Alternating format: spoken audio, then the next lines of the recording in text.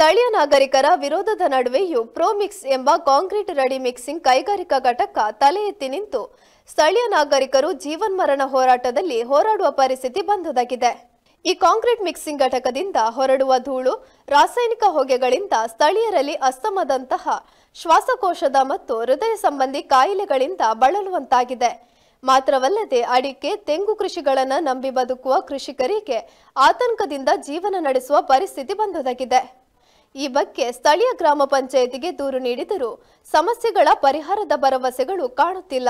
ಇತ್ತೀಚೆಗೆ ನಡೆದ ಗ್ರಾಮ ಸಭೆಯಲ್ಲಿ ಗ್ರಾಮದ ವ್ಯಕ್ತಿಯೋರ್ವರು ಈ ಪ್ಲಾಂಟ್ನ ಅಪಾಯವನ್ನ ಮತ್ತು ರೋಗದ ಬಗ್ಗೆ ವಿಷಯ ಪ್ರಸ್ತಾಪ ಮಾಡಿದರೂ ಯಾವುದೇ ಸ್ಪಂದನೆ ದೊರಕಿಲ್ಲ ಎಂಬ ಆರೋಪ ಇವರದಾಗಿದೆ. ಮಾಣಿ ಮೈಸೂರು ರಾಷ್ಟ್ರೀಯ ಹೆದ್ದಾರಿ ಎಪ್ಪತ್ತಾರರ ಬಲ ಮತ್ತು ಎಡಭಾಗದಲ್ಲಿ ಕಾಣಸಿಗುವ ಪ್ರದೇಶ ಕೋಡಜೆ ಗಡಿಸ್ಥಳ ಮಾಣಿ ಗ್ರಾಮದ ಕೋಡಾಜೆ ಗಡಿಸ್ಥಳ ಎಂಬುದು ಮಾನಿ ಮತ್ತು ಪೇರಾಜೆ ಗ್ರಾಮಗಳ ಗಡಿ ಪ್ರದೇಶವಾಗಿದೆ. ಮೂರು ಗ್ರಾಮ ದೈವಗಳಾದ ಶ್ರೀ ಗುಡ್ಡೆ ಚಾಮುಂಡಿ ಪಂಜುರ್ಲಿ, ಮಲೆಕೊರತಿ, ಗುಳಿಗ ದೈವಗಳು ಮತ್ತು ಶ್ರೀ ನಾಗದೇವರ ಕಾರ್ಣಿಕ ಮೆರೆದ ಗಡಿ ಪ್ರದೇಶ ಇದಾಗಿರುತ್ತದೆ. ಹಿರಿಯರ ಕಾಲಘಟ್ಟಗಳಿಂದ ಧಾರ್ಮಿಕ ಆಚರಣೆಗಳಿಗೆ ಸಾಕ್ಷಿಯಾದ ಈ ಕಾರಣಿಕ ಪ್ರದೇಶ ಇವತ್ತಿನ ದಿನ ನಶಿಸಿ ಹೋಗುವ ಕಾಲಘಟ್ಟಕ್ಕೆ ಬಂದು ನಿಂತಿದೆ. ಗಡಿಸ್ಥಳ ಪ್ರದೇಶ ಕಾರಣಿಕತೆಯ ಬಗ್ಗೆ ಸ್ಥಳೀಯರಲ್ಲಿ ಕೇಳಿ ತಿಳಿದುಕೊಂಡರೆ ಎಲ್ಲವೂ ಅರ್ಥವಾಗುತ್ತದೆ. ಸರಿಸುಮಾರು ಆರು ಏಳು ವರ್ಷಗಳಿಂದ ಇಲ್ಲಿ ರಸ್ತೆ ಅಪಘಾತಗಳು ನಡೆದು ಅನೇಕ ಪ್ರಾಣಹಾನಿ ಸಂಭವಿಸಿ ಅಪಘಾತ ವಲಯ ಎಂದೇ ಗುರುತಿಸಿಕೊಂಡ ಪ್ರದೇಶವಾಗಿದೆ.